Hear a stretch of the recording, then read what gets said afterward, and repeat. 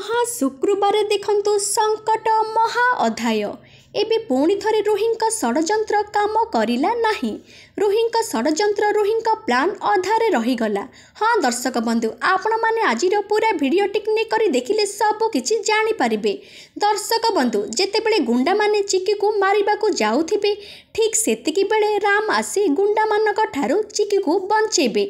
ଆଉ ଗୁଣ୍ଡାମାନଙ୍କୁ କହିବେ ରାମ ମୋ ଚିକି ଏକା ତୁମମାନଙ୍କ ପାଇଁ କାଫି ତମେମାନେ ଭୁଲି ଯାଉଛ ଯେ ଚିକିଙ୍କ ପାଇଁ ତାଙ୍କ ସ୍ୱାମୀ ରାମ ଅଛନ୍ତି ତାପରେ ରାମ ଗୁଣ୍ଡାମାନଙ୍କ ଠାରୁ ଚିକିକୁ ବଞ୍ଚେଇବେ ଆଉ ଚିକି ରାମର କଥା ଶୁଣି ରାମଙ୍କ ପ୍ରେମରେ ପଡ଼ିଯିବେ ଚିକି ଠିକ୍ ସେତିକିବେଳେ ଗୋଟେ ଗୁଣ୍ଡା ଆସି ରାମଙ୍କ ହାତକୁ କୁରାଠି ମାରିଦେବେ ରାମଙ୍କ ହାତରୁ ବ୍ଲଡ଼ ବାହାରିବ ଏଇସବୁ ଦେଖି ଚିକି ଆଶ୍ଚର୍ଯ୍ୟ ହୋଇଯିବେ ଏବେ ଦର୍ଶକ ବନ୍ଧୁ ତୋରି ପାଇଁ ତୋ ପାଇଁ ସିରିଏଲରେ ଚିକି ରାମକୁ କ'ଣ ଗୁଣ୍ଡାମାନଙ୍କ ଠାରୁ ବଞ୍ଚେଇ ପାରିବେ କି ନାହିଁ?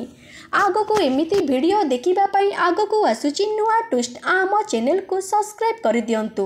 ଆଜି ରାତି ଆଠଟାରେ ଦେଖନ୍ତୁ ତୋରି ପାଇଁ ତୋ ପାଇଁ।